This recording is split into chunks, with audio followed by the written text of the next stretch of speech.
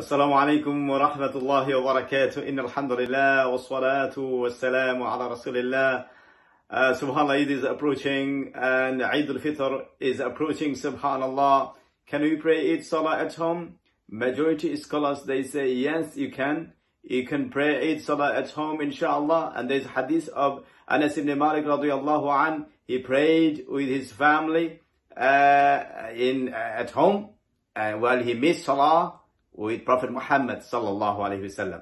So you can pray Eid Salah at home, inshallah. Also, there are difference of opinions. Imam Abu Hanifa, Imam Ibn Taymiyyah, Shaykh Uthaymin, they say you are not allowed, but majority they say eh, you are allowed to pray Eid Salah at home. Allah knows best. Enjoy your Eid Salah, inshallah. Eid Mubarak to you. Jazakumullah khair. Assalamu alaikum wa rahmatullahi wa barakatuh.